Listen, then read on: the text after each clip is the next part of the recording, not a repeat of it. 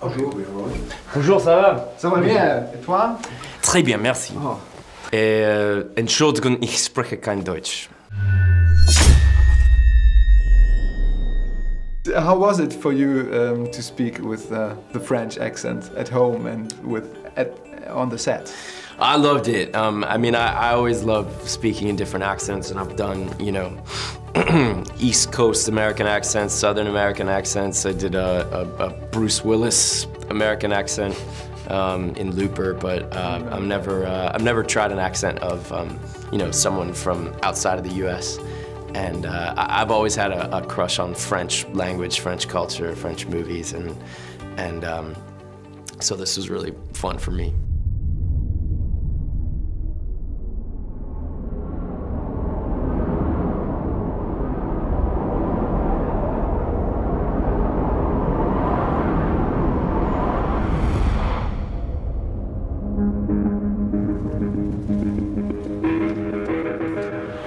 Think we should actually start with the question that is the main question of the, of the movie at, at the beginning.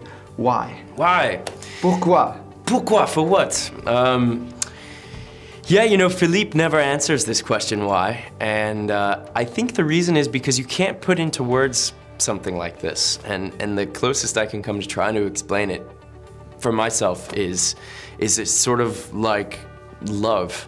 You know, when you love somebody, you can't really explain why. You can say things that you like about that person, but you can't really put into words why you love them. It's something beyond words. And Philippe describes his relationship to the Two Towers as a love affair. And, uh, and I, I think it's like that. It's, it's, it's beyond words. And people ask me, why do you risk death? For me, this is life. Welcome to New York. Anything to declare? I'm going to hang a high wire between the two towers of the World Trade Center and work on it. Good luck. In a time where everyone everyone is doing a superhero movie or talking about superhero movies, why did you do the walk? Hmm. Uh, well, I love the fact that this is it's a true story, and he did something that's that feels impossible, um, but he made it possible. And he's not a superhero. He's not an alien from outer space. He doesn't have any magic powers. He's a real person, just like us. And and I think that's inspiring because we all have those things in our lives that we would love to do, but that seem impossible. And here's an example of someone who did it. And uh, I think that's that's a story worth worth telling and celebrating. The movie is a love story, I think. But to, to what? Is it a love story to the towers, to art, to New York? What do you think? Uh, what kind of love story is this movie? Yeah, all of the above. I, I think it is. It's an homage to, like you say, to these two towers, to New York City, um, and yeah, to to just creativity for the sake of it, for the love of it. You know, this is it's like a heist movie, really, except they're not stealing money. They're just creating a work of art. Why? It's like the same question. You you ask why.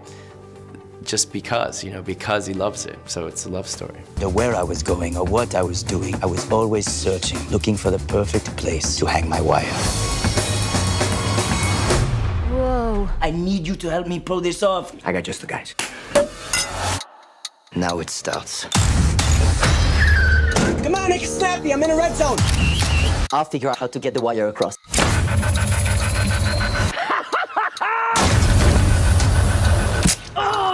Think we should wait. No! I had the slight feeling that Ben Kingsley had the first time really, really enjoying his, his role. So how was it with you two? I, I had the feeling you were like doing a lot of improv, but I don't really know. So how was it, the scenes with Ben Kingsley? Yeah, as it was Papa fantastic. Yeah, Papa Rudy. Yeah, working with uh, with Sir Ben was really great because you know in the movie he plays this character Papa Rudy, who's a real life guy that was a mentor to Philippe Petit, and uh, and I admire. Um, Mr. Kingsley's work as an actor so much. There was a parallel there that you know he felt like a mentor to me, and, and he was really generous to um, to kind of treat me that way.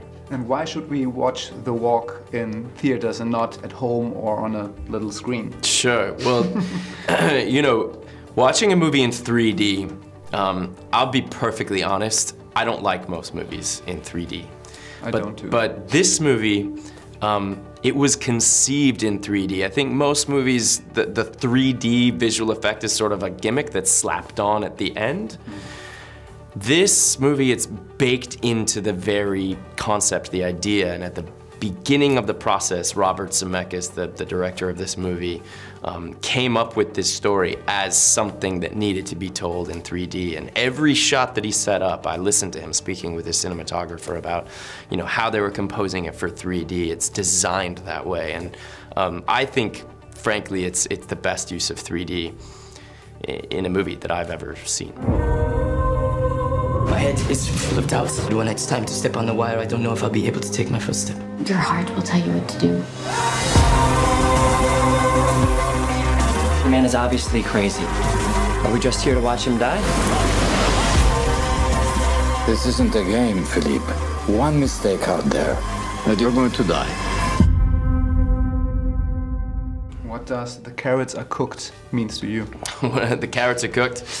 Uh, so that's an expression that basically means there's no turning back. Uh, the carrots are cooked. We have to move forward, and uh, I think there's there's something really admirable about that because we all in our lives, I think, like to have the option of like, yeah, okay, but maybe I don't want to do it. Maybe I just I'm gonna leave myself an escape route just in case uh, I don't really want to live up to my commitment, but. Uh, to, to go forward past the point of no return. Those are sort of the moments that, that life is made of, I think. The carrots are cooked. Thank you very much. Thank you. Good luck with the walk. Thanks very much.